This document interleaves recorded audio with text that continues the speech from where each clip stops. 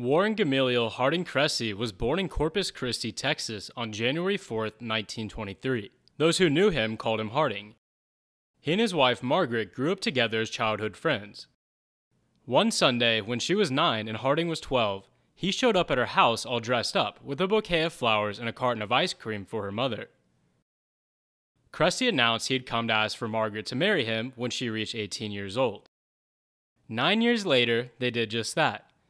It was an early example of Harding's qualities of determination and persistence. But first, Crecy enlisted in the U.S. Army after he graduated high school. That was right around the time the U.S. entered into the Second World War. After basic training, he was sent to the 761st Tank Battalion, where he became a tank commander. General Leslie J. McNair, the commander of Army Ground Forces, wanted African Americans to be able to serve in combat. Most African Americans who joined the armed forces at the time served in supporting roles, such as cooks. McNair believed that they should be able to fight as they had done in past conflicts.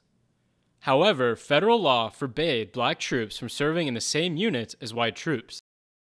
Thus, among other African American units, the 761st Tank Battalion was created as an independent battalion.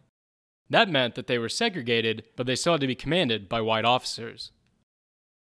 The 761st was called the Black Panthers due to their logo, and their motto was Come Out Fighting. The battalion lived up to its motto during its sojourn in Europe, with its members receiving several awards, including a Medal of Honor. Among the Black Panthers who distinguished themselves was Crecy. Not that this particular baby-faced tank commander looked the part of a killer.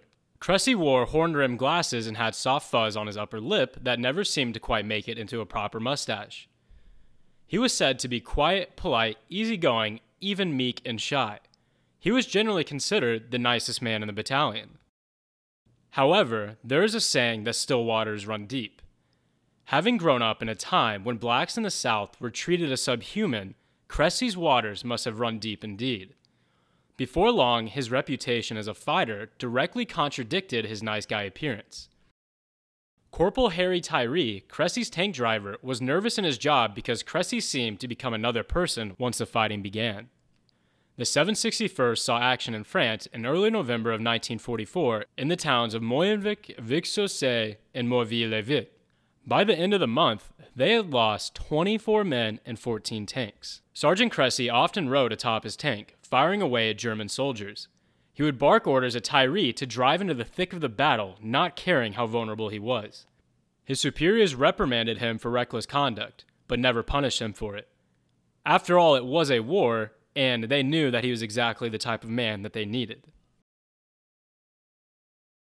On November 10, 1944, outside the commune of Morville in Normandy's Manche department, Crecy was with D Company when his unit came under fire, which destroyed his tank. Jumping out of the burning machine with only a 30 caliber machine gun, he ran towards an enemy machine gun nest and destroyed it. He then took out another enemy position following that. Later, he had finally found himself back in a functioning tank doing screening operations when an infantry lieutenant of the 26th Division flagged him down. The officer wanted a lift through the woods and up a nearby hill to get a better view of the fighting. He believed a tank would improve his chances of reaching his goal alive. The going was rough, though. Heavy snow lay on the ground, and the tank's treads kept slipping and sliding. Sometimes the vehicle got bogged down. It would only get worse, though, as they made their way up the hill.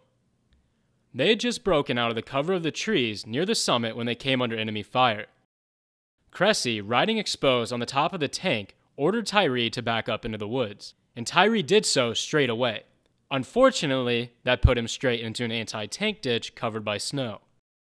The tank got stuck, exposing its underbelly to the enemy fire.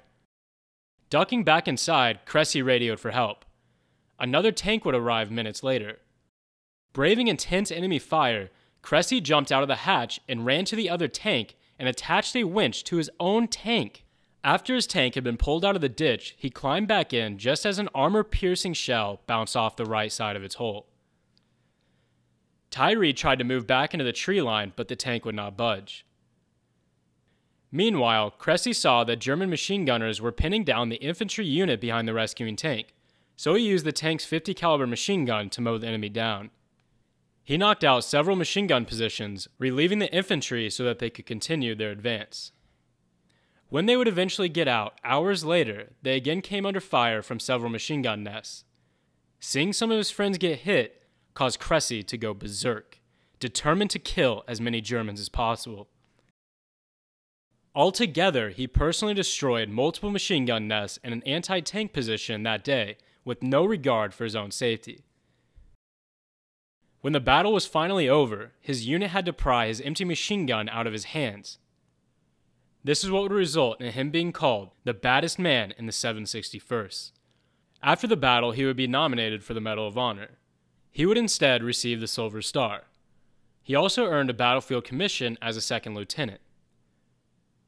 After the Second World War, Crecy remained in the Army and went on to serve in the Korean War, where he would unfortunately be badly wounded.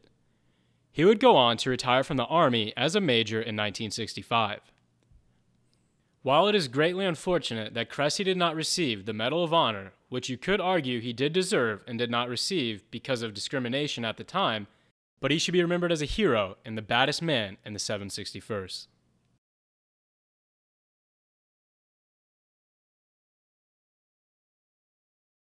Thanks for watching. Remember to like the video and subscribe for more content.